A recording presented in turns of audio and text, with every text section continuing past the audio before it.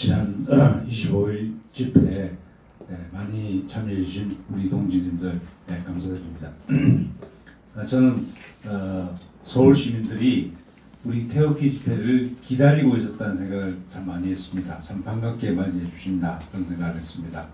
아, 우리가 어, 어, 너무 자주 집회를 가질 수는 없겠지만 음, 이슈가 있을 때 예, 그럴 때 우리가 아, 집회를 통해서 어, 우리의 존재, 우리의 목표 어, 이런 것을 어, 어, 서울 시민들 또는 다른 시, 어, 시, 시민들에게 알리는 기회를 가져야 되겠다고 생각을 했습니다.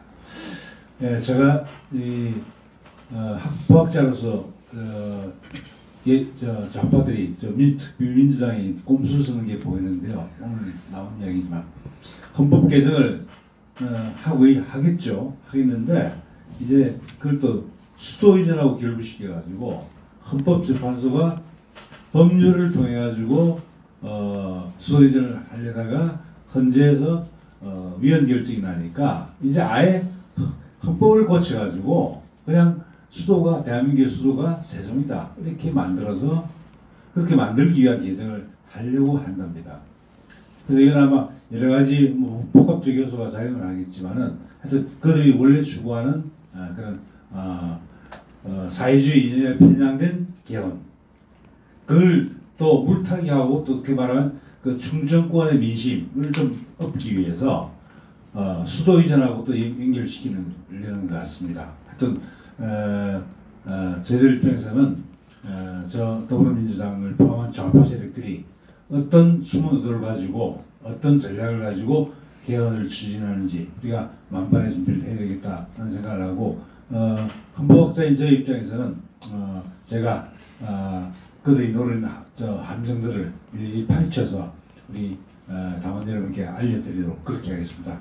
그 악법에 관한 해설을 하고 있는데 어, 그때 방송 중에서도 어떤 그 분이 그런 말씀을 하셨지만은 지금 저 국회 입법 예고가 되어 있는 어, 법률안들이 많습니다 지금.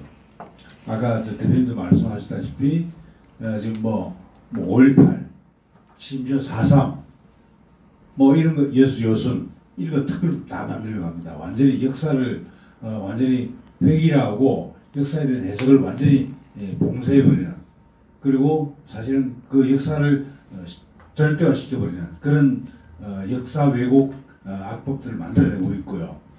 예, 그리고 또 하나 이제 뭐그 어, 그 부분도 좀 해설해드릴 생각입니다. 그리고 지금 이제 해설 지난번부터 했던 게 이제 차별금지법인데 차별금지법 정말 무서운 법입니다. 정말 무서운 법입니다. 제가 이 법을 보면서 이가 갈린다 이렇게 말을 어, 할 정도로 정말 무서운 법입니다. 우리의 손발을 모든 영역에서 우리의 손발을 다 묶습니다. 우리를 완전히 노예, 노예를 만듭니다. 평등이라는 이름으로 자유를 말살하는 법입니다. 그리고 대한민국, 그 대한민국 내에 있는 그 제도, 이 제도를 전, 전, 전부 해체시키는 그런 악법입니다. 그래서 이 차별금지법의 그 심각성을 좀 다운 여러분께서 알, 알, 알아주시고 그리고 최근에 이제 나온 게 에, 주택 임대차와 관련된 법들이 나오고 있습니다. 그 법도 제가 분석을 하고 있는데 에, 어, 다음 주쯤이나 한번 제가 주택 에, 임대차와 관련된 에, 그 법률안들이 어떤 정말 심각한 문제를 안고 있는지 제가 말씀드리도록 하겠습니다. 하여튼 우리가 악법에 악법을 정확하게 이해하고 그들의 약점을 정확하게 찌르면서 우리가 아, 좌파 쪽 독재 정권에 공격을 해 들어가야 된다. 아, 그렇게 생각합니다. 어, 당원 동지 여러분께서도 아, 이런 뭐 강의 같은 것을 통해서 아니면 다 인터넷 이런 걸 통해서 정보를 좀 입수하셔가지고 악보의 본질을 좀 정확히 파악해 주시면 좋겠다. 그런 말씀입니다. 이상입니다.